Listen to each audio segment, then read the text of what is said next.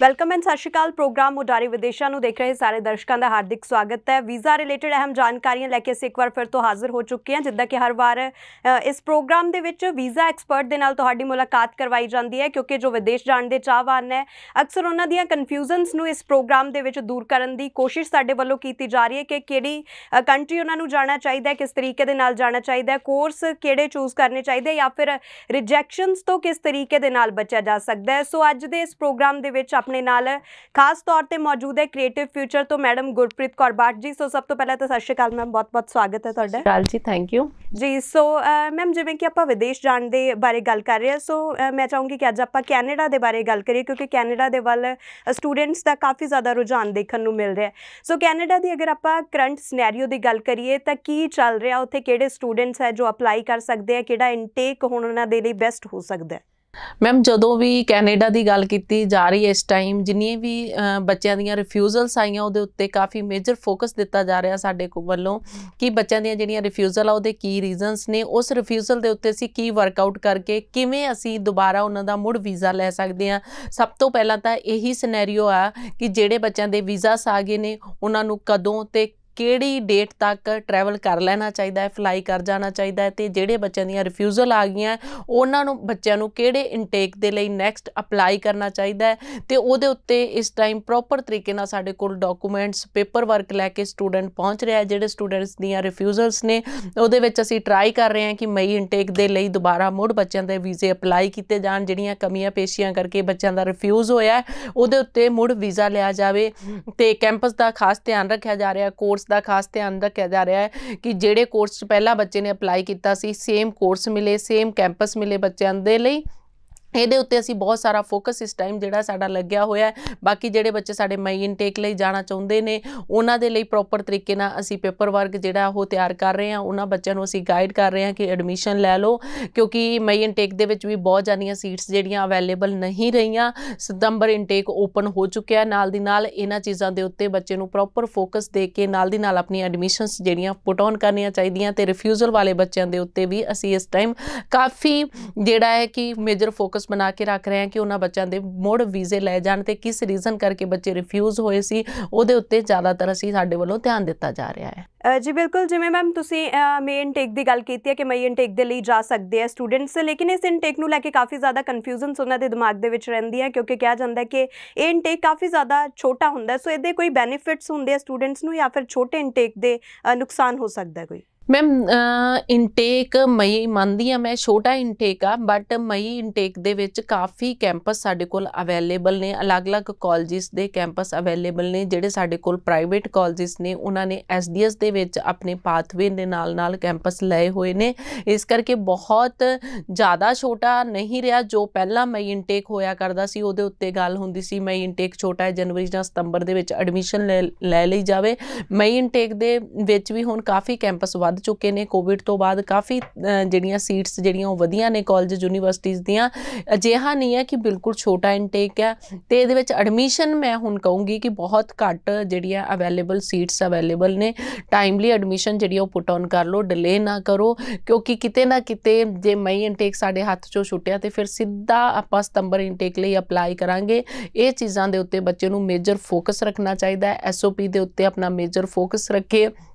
Course selection ਦੇ ਉੱਤੇ ਬੱਚੇ ਦਾ ਮੇਜਰ ਫੋਕਸ ਹੋਣਾ ਚਾਹੀਦਾ ਹੈ ਕ੍ਰਾਈਟੇਰੀਆ ਕਿੱਥੇ ਮੀਟ ਕਰ ਰਿਹਾ ਹੈ ਕਿਹੜੇ ਸਬਜੈਕਟ ਦੇ ਵਿੱਚ ਉਹਨੂੰ ਅਹ, ਜਿਹੜੀ ਇੱਥੋਂ ਦੀ ਪਰਸੈਂਟੇਜ ਆ ਜਿਹੜੀ ਉਹਦੀ ਹਾਈ ਆ ਉਹਦੇ ਅਕੋਰਡਿੰਗਲੀ ਆਪਣਾ ਕੋਰਸ ਚੂਜ਼ ਕਰਨਾ ਚਾਹੀਦਾ ਹੈ ਆਪਣਾ ਪ੍ਰੋਵਿੰਸ ਆਪਣੀ ਪ੍ਰੋਫਾਈਲ ਦੇ ਅਕੋਰਡਿੰਗਲੀ ਚੂਜ਼ ਕਰਨਾ ਚਾਹੀਦਾ ਹੈ ਸਟੇਟਮੈਂਟ ਆਫ ਪਰਪਸ ਦੇ ਵਿੱਚ ਪ੍ਰੋਪਰ ਤਰੀਕੇ ਨਾਲ ਆਪਣੀਆਂ ਚੀਜ਼ਾਂ ਜਿਹੜੀਆਂ ਉਹ ਡਿਸਕ੍ਰਾਈਬ ਕਰਨੀਆਂ ਚਾਹੀਦੀਆਂ ਹੈ ਇਹਦੇ ਉੱਤੇ ਬੱਚੇ ਨੂੰ ਇਸ ਟਾਈਮ ਧਿਆਨ ਦੇਣ ਦੀ ਜ਼ਰੂਰਤ ਆ ਬਾਕੀ ਮਈ ਇਨਟੇਕ ਦੇ ਵਿੱਚ ਲਿਮਟਿਡ ਸੀਟਸ ਅਵੇਲੇਬਲ ਨੇ ਜਿਹੜੇ ਬੱਚੇ ਐਡਮਿਸ਼ਨ ਲੈਣਾ ਚਾਹੁੰਦੇ ਨੇ ਉਹ ਲੈ ਸਕਦੇ ਨੇ ਔਰ ਇੱਕ ਹੋਰ ਇਹਦੇ ਵਿੱਚ ਮੈਂ ਇਨਫੋਰਮੇਸ਼ਨ ਜਿਹੜੀ ਬੱਚਿਆਂ ਦੇ ਨਾਲ ਸਾਂਝੀ ਕਰਨਾ ਚਾਹੁੰਦੀ ਹਾਂ ਸਾਡੇ ਕੋਲ ਜਿਹੜੇ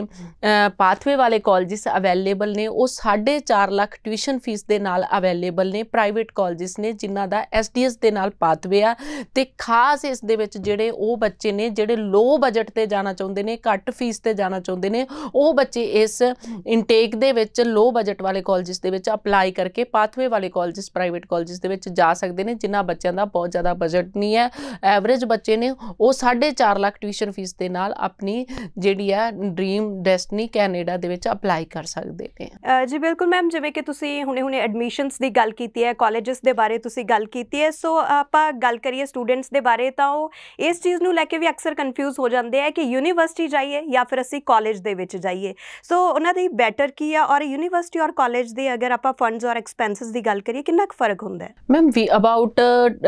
ਟਾਕ ਟੂ ਕਿ ਅ, ਘੱਟ ਬਜਟ ਵਾਲਾ ਕਾਲਜ ਤੇ ਜਦੋਂ ਅਸੀਂ ਘੱਟ ਬਜਟ ਵਾਲਾ ਕਾਲਜ ਚੂਜ਼ ਕਰਦੇ ਹਾਂ ਉਹਦੇ ਯੂਨੀਵਰਸਿਟੀ ਜਾਂ ਉਹਦੇ ਵਿੱਚ ਆਪਾਂ ਐਸਡੀਐਸ ਕਾਲਜ ਦੀ ਗੱਲ ਨਹੀਂ ਕਰ ਰਹੇ ਹੁੰਦੇ ਆਪਾਂ ਨਾਨ ਐਸਡੀਐਸ ਕਾਲਜ ਦੀ ਗੱਲ ਕਰ ਰਹੇ ਹੁੰਦੇ ਆ ਕਿ ਜਿਹੜੇ ਬੱਚੇ ਅ, ਘੱਟ ਫੀਸ ਪੇ ਕਰਕੇ ਜਾਣਾ ਚਾਹੁੰਦੇ ਨੇ ਜਿਨ੍ਹਾਂ ਬੱਚਿਆਂ ਦਾ ਬਹੁਤ ਜ਼ਿਆਦਾ ਹਾਈ ਬਜਟ ਨਹੀਂ ਹੈ 4.5 ਲੱਖ ਟਿਊਸ਼ਨ ਫੀਸ ਹੈ ਜਿਹੜੀ ਕਿ ਸਾਡੇ ਕੋਲ ਨਾਨ ਐਸਡੀਐਸ ਕਾਲਜ ਅਵੇਲੇਬਲ ਹੈ ਪਾਥਵੇ ਆ ਉਹਦਾ ਐਸਡੀਐਸ ਨਾਲ ਯੂਨੀਵਰਸਿਟੀ ਨਾਲ ਪਾਥਵੇ ਆ ਔਰ ਜਿਹੜੀ ਤੁਸੀਂ ਟ੍ਰੈਂਡ ਦੀ ਗੱਲ ਕਰ ਰਹੇ ਹੋ ਜੋ ਸਾਡਾ ਪੰਜਾਬ ਦੇ ਵਿੱਚ ਟ੍ਰੈਂਡ ਹੈ ਜਿਵੇਂ ਯੂਨੀਵਰਸਿਟੀ ਦੀ ਗੱਲ ਕੀਤੀ ਕਿ ਯੂਨੀਵਰਸਿਟੀ 'ਚ ਬੱਚੇ ਨੂੰ ਅਪਲਾਈ ਕਰਕੇ ਜਾਣਾ ਚਾਹੀਦਾ ਜਾਂ ਕਾਲਜ ਦੇ ਵਿੱਚ ਯੂਨੀਵਰਸਿਟੀ ਜਾਂ ਕਾਲਜ ਦੇ ਵਿੱਚ ਅਪਲਾਈ ਕਰਨ ਦੇ ਨਾਲ ਕਿਤੇ ਨਾ ਕਿਤੇ ਬੱਚੇ ਦੇ ਮਾਈਂਡ ਦੇ ਵਿੱਚ ਹੁੰਦਾ ਹੈ ਕਿ ਜਿਹੜਾ ਵੀਜ਼ਾ ਸਕਸੈਸ ਰੇਟ ਆ ਉਹ ਹਾਈ ਹੋ ਜਾਊਗਾ ਇਹ ਬਿਲਕੁਲ ਗਲਤ ਥਿੰਕਿੰਗ ਹੈ ਇਹ ਧਾਰਨਾ ਗਲਤ ਬਣਾਈ ਗਈ ਹੈ ਇਸ ਦੇ ਉੱਤੇ ਬੱਚੇ ਨੂੰ ਜ਼ਿਆਦਾ ਫੋਕਸ ਨਹੀਂ ਦੇਣਾ ਚਾਹੀਦਾ ਕਾਲਜ ਯੂਨੀਵਰਸਿਟੀ ਜਿਹੜੇ ਆਥੋਰਾਈਜ਼ ਨੇ ਡੀਐਲਆਈ ਨੰਬਰ ਹੈਗਾ ਉਹਨਾਂ ਸਾਰਿਆਂ ਦੇ ਕੋਲ ਆਥੋਰਾਈਜ਼ ਜਿਹੜੀਆਂ ਆਫਰ ਲੈਟਰ ਤੁਹਾਨੂੰ ਭੇਜ ਰਹੇ ਨੇ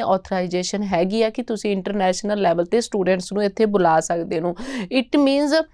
ਉਹਨਾਂ ਕੋਲ ਆਥੋਰਾਈਜੇਸ਼ਨ ਹੈਗੀ ਆ ਤੇ ਵੀਜ਼ਾ ਸਕਸੈਸ ਰੇਟ ਨਿਕਲੇਗਾ ਬਟ ਜਿਹੜਾ ਸਾਡੇ ਪੰਜਾਬ ਦੇ ਵਿੱਚ ਅਸੀਂ ਇੱਕ ਟ੍ਰੈਂਡ ਕ੍ਰੀਏਟ ਕਰ ਦਿੱਤਾ ਕਿ ਯੂਨੀਵਰਸਿਟੀ 'ਚ ਅਪਲਾਈ ਕਰ ਦੋ ਤੇ ਵੀਜ਼ਾ ਸਕਸੈਸ ਰੇਟ ਵੱਧ ਜਾਂਦਾ ਹੈ ਇਹ ਬਿਲਕੁਲ ਗਲਤ ਹੈ ਇਸ ਕਰਕੇ ਬੱਚੇ ਨੂੰ ਆਪਣੇ ਬਜਟ ਦੇ ਅਕੋਰਡਿੰਗਲੀ ਆਪਣੇ ਕ੍ਰਾਈਟੇਰੀਆ ਦੇ ਅਕੋਰਡਿੰਗਲੀ ਕਿੱਥੇ ਮੀਟ ਕਰ ਰਿਹਾ ਕਿਹੜੇ ਪ੍ਰੋਵਿੰਸ 'ਚ ਮੀਟ ਕਰ ਲਿਆ ਉਹਦੇ ਅਕੋਰਡਿੰਗਲੀ ਡਿਸੀਜਨ ਲੈ ਕੇ ਆਪਣਾ ਅ, ਜਿਹੜੀ ਐਡਮਿਸ਼ਨ ਪੁੱਟ ਔਨ ਕਰਨੀ ਚਾਹੀਦੀ ਆ ਔਰ ਵੀਜ਼ਾ ਅਪਲਾਈ ਕਰਨਾ ਚਾਹੀਦਾ ਜੀ ਬਿਲਕੁਲ ਸੋ ਆਪਾਂ ਕਹਿ ਸਕਦੇ ਹਾਂ ਕਿ ਉਹਨਾਂ ਦੇ ਲਈ ਸਿਟੀ ਜਾਂ ਫਿਰ ਕੋਰਸਸ ਜੋ ਹੈ ਪ੍ਰਾਇੋਰਟੀ ਨਹੀਂ ਹੋਣੇ ਚਾਹੀਦੇ ਵੀਜ਼ਾ ਉਹਨਾਂ ਦੀ ਪ੍ਰਾਇੋਰਟੀ ਹੋਣਾ ਚਾਹੀਦਾ ਹੈ। ਸੋ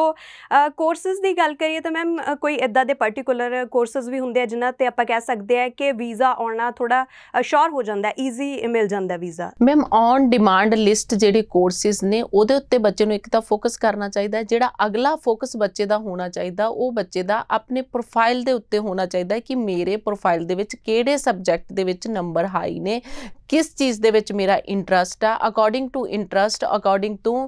ਉਹਦੇ ਪ੍ਰੋਫਾਈਲ ਦੇ ਹਿਸਾਬ ਦੇ ਨਾਲ ਹੀ ਬੱਚੇ ਨੂੰ ਅਪਲਾਈ ਕਰਨਾ ਚਾਹੀਦਾ ਹੈ ਇਹ ਨਹੀਂ ਕਿ ਮੈਂ ਅ, ਇੱਥੇ ਮੇਰਾ ਔਨ ਡਿਮਾਂਡ ਲਿਸਟ 'ਚ ਇਹ ਕੋਰਸ ਆ ਰਿਹਾ ਪਰ ਮੇਰੇ ਕ੍ਰਾਈਟੇਰੀਆ ਨਾਲ ਮੇਰੇ ਪ੍ਰੋਫਾਈਲ ਦੇ ਨਾਲ ਉਹ ਕੋਰਸ ਮੈਚ ਨਹੀਂ ਕਰ ਰਿਹਾ ਫਿਰ ਵੀ ਮੈਂ ਉਹ ਕੋਰਸ ਲੈ ਲਿਆ ਉਹਦੇ ਵਿੱਚ ਵੀਜ਼ਾ ਸਕਸੈਸ ਰੇਟ ਹਾਈ ਨਹੀਂ ਹੋਊਗਾ ਕਿਉਂਕਿ ਔਨ ਡਿਮਾਂਡ ਲਿਸਟ ਦਾ ਮਤਲਬ ਇਹ ਨਹੀਂ ਆ ਕਿ ਤੁਸੀਂ ਆਊਟ ਆਫ ਪ੍ਰੋਫਾਈਲ ਜਾ ਕੇ ਆਪਣੇ ਜਿਹੜੇ ਆ ਕੋਰਸਿਸ ਲਓ ਔਨ ਡਿਮਾਂਡ ਲਿਸਟ ਦਾ ਮਤਲਬ ਇਹ ਹੈ ਕਿ ਉੱਥੇ ਹਾਈ ਡਿਮਾਂਡ ਤੇ ਕਿਹੜੇ ਕੋਰਸਿਸ ਨੇ ਉਹਦੇ ਵਿੱਚ ਵੀਜ਼ਾ ਸਕਸੈਸ ਰੇਟ ਹਾਈ ਹੁੰਦਾ ਹੈ ਬਟ ਆਪਾਂ ਆਪਣੇ ਪ੍ਰੋਫਾਈਲ ਦੇ ਨਾਲ ਮੈਚ ਕਰਦਾ ਮੀਟ ਕਰਦਾ ਹੀ ਕੋਰਸ ਜਿਹੜਾ ਚੂਜ਼ ਕਰਨਾ ਹੈ ਅ,